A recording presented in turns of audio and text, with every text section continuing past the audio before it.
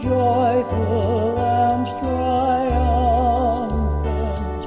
Oh, come ye, oh, come ye to Bethlehem.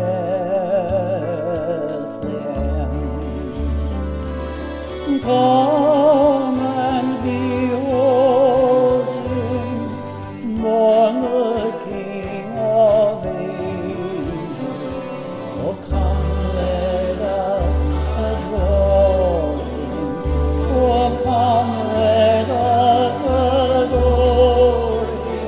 Oh, come, let us adore him.